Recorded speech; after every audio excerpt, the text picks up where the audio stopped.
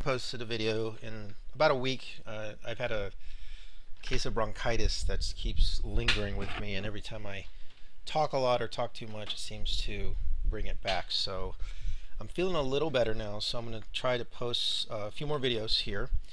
And uh, today I'm going to talk about uh, components. And I, I, got a lot of, I did this last video on inclined planes, and I got a lot of emails about how did you find the components of that.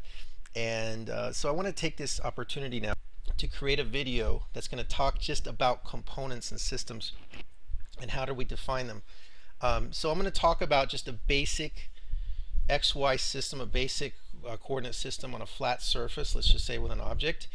And then I'm going to talk about free body diagrams and the components on inclined planes, and then I'm going to talk about a pendulum. So typically when we're dealing with a, a system, let's just say, and I have a, a, an object here, let's just say that there's a force acting on that system, and that force is acting, let's say, in this direction. Typically when you define an axis, you want to define it in such a way that it's going to be aligned with the net force. So let's just say that there's one force acting on this object. What I'm going to do is I'm going to define my x and my y coordinate system to be exactly with that net force, whatever direction the net force is. So even if there was another force in this direction, let's just say uh, going against it just with a little bit less energy, I still would define my uh, positive x direction in the, in the direction of the net force. So let's just say that I had a force here. Let's just say I had a force applied of, I don't know, let's just say 10 newtons here and let's say that I had a force of some force of friction which I'm drawing uh, not at the surface even though it's acting there I'm just going to draw it up here let's just say that that was uh, 2 newtons right? So I know that my net force is going to be um, in the, the direction to the right. So I always want to pick my x-axis in the direction of the net force okay? So that's pretty basic. I mean usually um, on this flat surface it's pretty easy to see that okay? So that's that's the first thing when we're talking about components. Uh, but what if we had a component that was at an angle? Let's just say that I had, let's say a vector like this. Let's say I had a force applied. Let's say you're pulling on a dog leash and there's a dog there. And you're pulling on the dog and let's say you're putting a force applied of, I don't know, 50 newtons, let's just say. You're pulling at an angle and you want to know what are those components. How do you find those components? Well, there's typically a default, which is this when I'm finding my components, my x component and my y component like this, okay, I always want to define, if I can, my angle to the horizontal. So basically, here's my theta here. I want to define that angle to this horizontal here.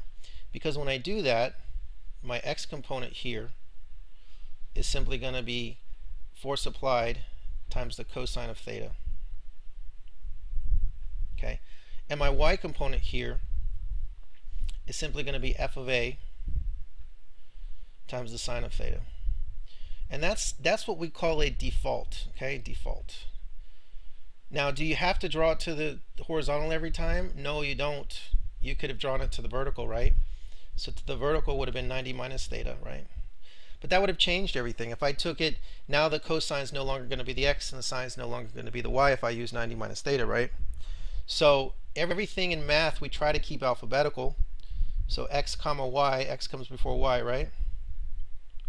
Okay, if you're dealing with real and imaginaries, or even if you're dealing with vector components, you have i and you have j, that's alphabetical, right? You have, and that could be polar coordinates too. And then we have cosine and sine, and that's alphabetical, right? So we try to keep this default whenever we can, okay? So most of the time, my x component is going to be cosine, okay? Because we can choose the angle most of the time, right? So even if I knew, let's say I knew that this angle was 40, right? I can choose to use this one as 50 because I can control what's happening. And then once I, by the way, once I have these components, I basically want to strike out that, the other force, I want to strike it out just to show that it's no longer in existence. I have my x and my y. So that's pretty basic. That's a default uh, to define an axis and then to create my x and my y and my x is typically the default is going to be the cosine and my y is the default is going to be the sine because I'm going to define it to the horizontal. When I say horizontal I mean this the horizon. Okay the what you see right here across this x-axis. So most people don't have a problem with that. That's pretty basic. That's just how we define our components, and we're going to use that system over and over again. This is how the unit circle works too in pre-calculus and calculus and trigonometry. We define everything to the horizontal or the horizon, okay? But when we get into inclined planes and pendulums, it's going to get a little bit different. And so I, you know, I typically tell people just remember as a default that the x is going to be cosine and, the y is going to be sine because we can define that. But there are some exceptions, okay? And there's more than th these two that I'm going to talk about. I'm just going to talk about these two because they're important. Um, the first one is going to be uh, inclined planes. An inclined plane is just a plane where it's tilted. So inclined planes is the first one. The second one is going to be pendulums. And when I say exceptions, what I mean is that the the x component in this case is going to be the sine, and the y component is going to be the cosine in this case in both of these. And I'm going to show you why. I'm going to show you why that's true. They, in other words, they flip around on these two situations, the inclined planes and the pendulums. The x is no longer the cosine. The x is going to be the sine, and the y is going to be the cosine. So I'm going to show you why that's true. Uh, these are the two most common exceptions. Now, there's always other exceptions. I mean, when we get into any kind of complex geometry, it's very possible that the x could become the, the you know the sine and the y the y the cosine. But these are the two most popular exceptions. So let's start looking first at the concept of the inclined plane, um, where the, the x and the y's will switch. We're going to be using the sine and the x and the and the um, and the y. We're going to use the cosine. So this first example here is going to be an inclined plane. Okay, for the, so for those of you who know a little bit about it, this is going to be just the basic geometry of inclined planes. Okay, so this is inclined planes. And all that that means is that the plane which the object is on, inclined plane, is going to be tilted up like this. So I'm going to put an angle like this, theta. And we have some forces. Okay, let's just say there's no friction here. I'm just going to draw all the forces that are acting on this object. Let's just say that I have a force of gravity going down, and I have the force normal coming up, whatever that is. Okay.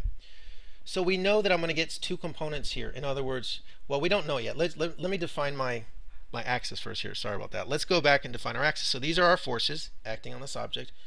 But how do I define my axis? Well, I'm going to define my axis in the direction of the net force. So I could have my axis here and here because my net force is actually going to be along this x direction here.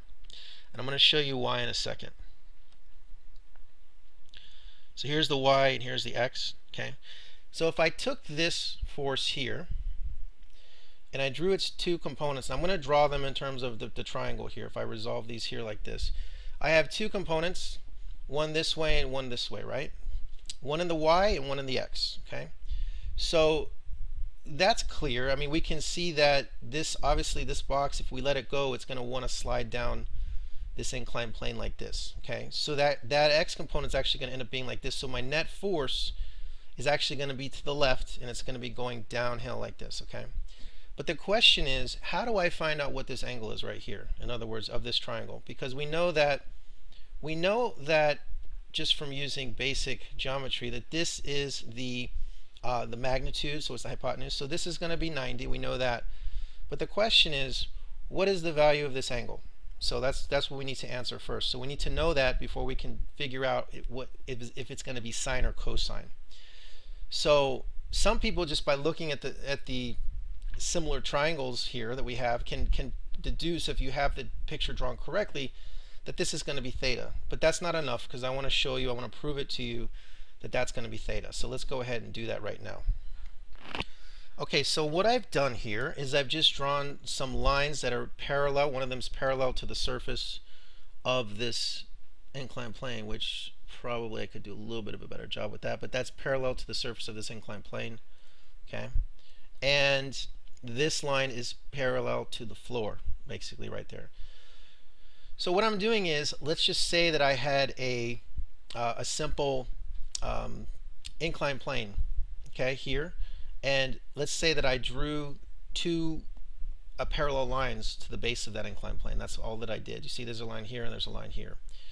So what do we know about um, parallel lines and angles within those parallel lines? Well, we know that there's geometry that exists between them.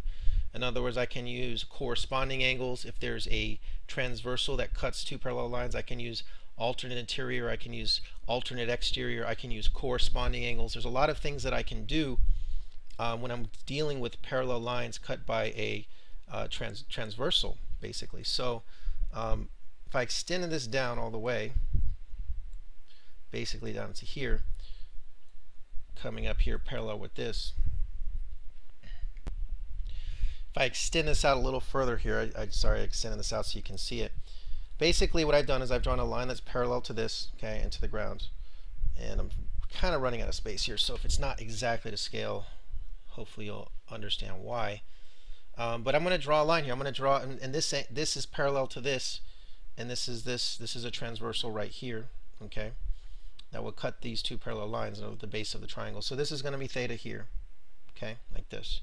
Now if I went ahead and came up here with this these two parallel lines here by this uh, cut by this transversal you can see that this is also theta here okay and so right away I'm starting to see some similarities here between these these angles but I don't care about this angle I care about this one right okay so what is this angle right here I'm going to draw it in a different color so you can see but basically this makes 90 degrees right so this right here, this is 90 minus theta. Okay, right there. You can see that very clearly. So in other words, the I'm just showing you the geometry here. These two right here make 90 degrees. So if that's theta, this is 90 minus theta. Okay.